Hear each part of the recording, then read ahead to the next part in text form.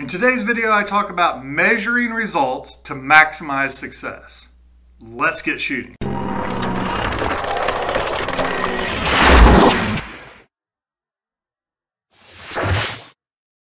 Hi, and welcome to today's episode of The Intersection. I am so glad you decided to watch today because I want to talk about something a lot of businesses forget to do, and that is measure the results of campaigns they're running, of different marketing initiatives they're taking, of lots of different things.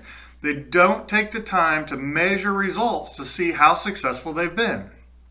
If you are not measuring the results, how are you going to know if what you're doing with your business and your marketing is working?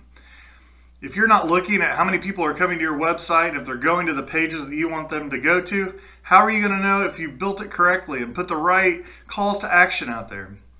If you're not looking at your email campaigns and seeing how many people are opening those or whether they're clicking on once they get them open, how are you going to know that that email campaign is working? If you've spent money on a direct mail campaign and you're not asking people to bring that mailer in to get a discount or something, how are you going to know that that money you spent on that is working? You need to take the time to measure all of these things to understand if the dollars you're spending are making a difference to your business.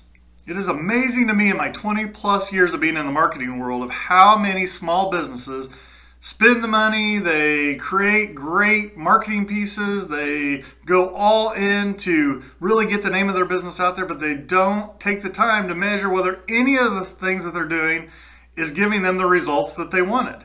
It's crazy that we, we measure everything else. We measure how much gas we put in our car. We measure if we're on a diet. We weigh ourselves to see what kind of progress we're making. We look at our bank account to see if it's going up.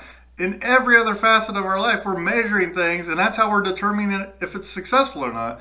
But when it comes to marketing, for whatever reason, a lot of small businesses just continue to spend dollar after dollar after dollar on marketing efforts that they honestly have no clue. When you ask them point blank, what was your return on this investment? They don't know. Let me give you an example of how important it is to measure the results of the efforts that you're making in marketing. When I was at Scotty's Brewhouse, we would send out a birthday email to people who had birthdays each each month. So if your birthday was in January, you get this email in January. And we redesigned it and made the email look really great. And we changed the subject line of that email and sent it out just like we always did to the people whose birthday it was that month. After we sent this out, I went back and looked at our email analytics about a week later and realized that less people were opening this email than in previous months. Less people were engaging with this email than in previous months. For months and months and months, we'd sent out a birthday email and I knew exactly the average amount of people that opened it. And now it was different.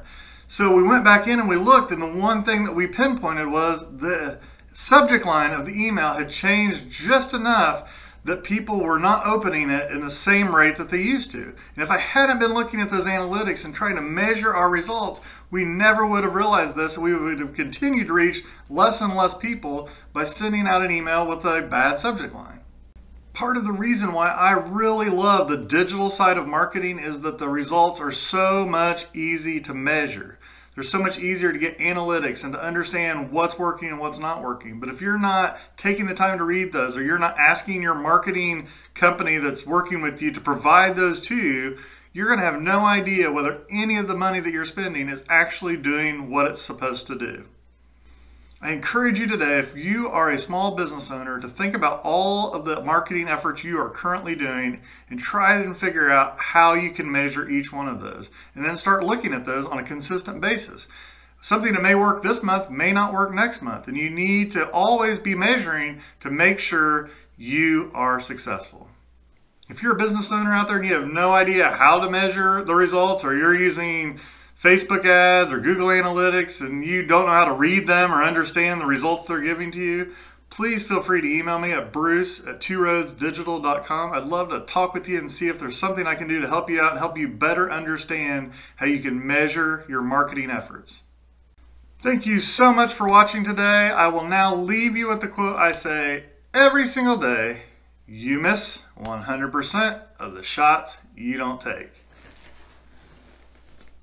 Ooh, that was a terrible miss today. But I'm going to keep on shooting, and so should you. Have a great day.